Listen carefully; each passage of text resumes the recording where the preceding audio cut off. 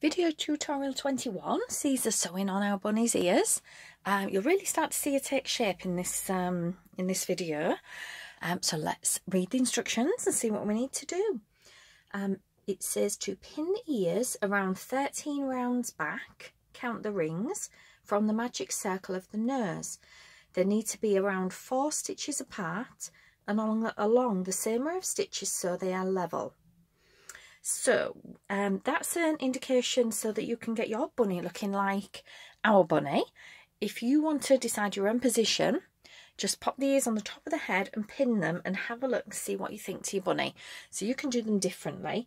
We just give you that guideline in case you want your bunny to look like ours. So we have, here we have our bunny and then we have those cute ears. Look at those.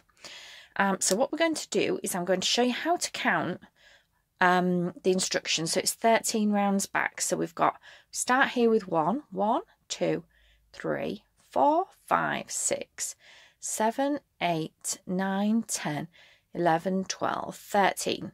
So this is roughly the round that it suggests. And four stitches apart, each one of those, can you see there the V? And then they're the next V, and they're the next V, and the next V. Each one of those is a stitch, so we're saying around four stitches apart. Um, so I'm going to pin one on round 13 and that will just give us an idea. So I'm going to pop it on the head and then I'm going to put a couple of pins in. Put more pins in if you need to, because if you don't put enough in or if the little light pins, you could find them just falling off. So I'm going to stick a couple of pins to hold it. I'm trying not to pin right around the base because that's where I'll need to get my stitches in.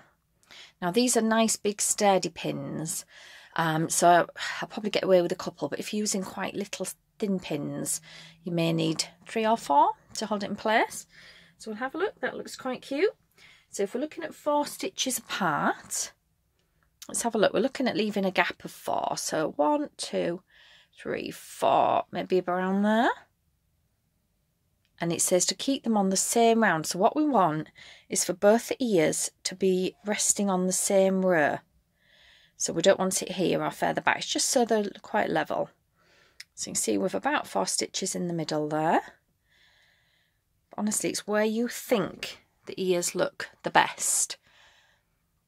So I'm going to pop it in. But we just always try and help giving really clear instructions how we've done ours because then if you want to get exactly the same look you can achieve that quite easily. Right. So that's how he is pinned. Do we like those we'll zoom out a little bit so we can see bunny a little better. Do we like that? Does that look cute? Let's look at it now look at it from the side as well to see if it looks good from all angles and see if they look like they're on the same round or the same row. You just want them nice and even. That looks quite level to me. Do they look cute? I think they look quite cute. Take them off and put them on as many times as you need to. It doesn't matter. You just need to get your bunny looking how you like it. So that looks quite good to me, I think. We could put them a little bit closer together. And we could separate them a bit more. They look quite even to me and on the same round. So let's start sewing them on. So what I'm going to do is thread the thread that we left when we fastened off the ear. Instructions said to leave a strand and that is going to come in really handy because we're going to use it to sew our bunny on. Bunny ears on. So I'll just thread my needle.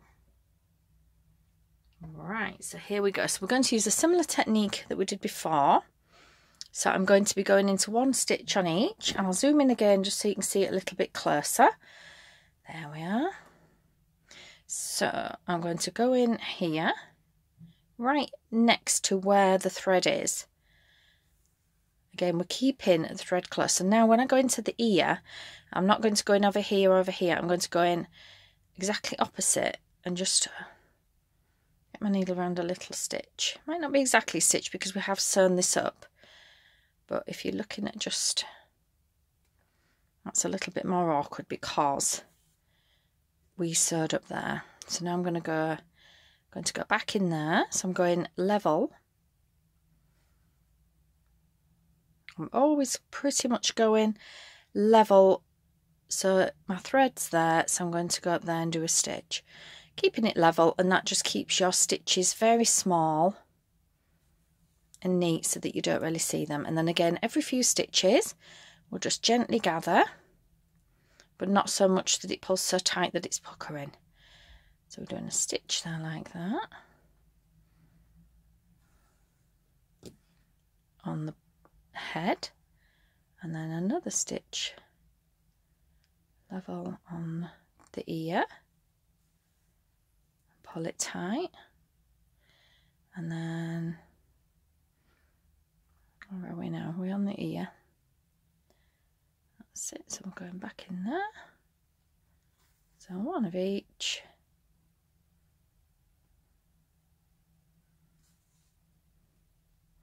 And then just gently pull every two three stitches. For one on here. So we're just going all the way around keeping the stitches level. And then what I would do once you finish sewing this ear on um, have another look at where your position is for the other one. Because occasionally it may have shuffled up a little bit gone a touch further back or a bit further forward so we just want to have another look at the ear when we've done this one to make sure they still appear level. If they don't, you can still move your other one because it's just pinned. So doing a stitch on each, gently pulling, just keeping them close together. And keep your stitches quite close together, don't leave big gaps between them because you want it nice and firm. And so if it's for a youngster, same as with the arms, go around twice. So that feels quite secure. Let's take our pins out and double check it before we fasten off. So if we found it's a bit loose or we weren't quite happy with it or we'd left a gap and we need to put an extra few stitches in, we can do that. So that feels pretty secure. It's quite tight, there's no big gaps. So that looks pretty good to me. So what I'm going to do is go back down the same hole I've just come out of, like we did before back up a couple of centimetres away. Oh, I've lost my thread. Look, let's just rethread that.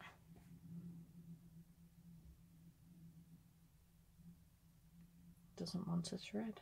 So fluffy. right. Thread through. If you're struggling, you can also trim the end because if it gets a little bit jaggy, you can't always get it thread. There we go. so we're going to go back through the same hole, away a few cent, a couple of centimetres away, come up through the hole again, then go back down the same hole and back up somewhere else. I'll just do that a couple of times. Pull it securely and then remember we pull it taut and snip it like so. So that's our ear neatly sewn on. So let's have a look. Is our other one still level? Actually, that does that look a little bit further back? I think that one needs to be further back now. So we'll just take the pins out and move it just to make sure we're happy with it because it does sometimes shuffle a little bit when you're sewing. This is how you get a nice nice finish by just this attention to detail, making sure they're level, double checking it before you sew it on. And it's the difference between a bunny that's um, a little bit higgledy-piggledy, but does give them character, or one that looks really neat and tidy. Look at that with the little arms we saw, sewed on last time. So the other ear is all ready to go. So I'm going to sew the other ear on. So sew both of your ears on, and then we will come back to you and start looking at the next part.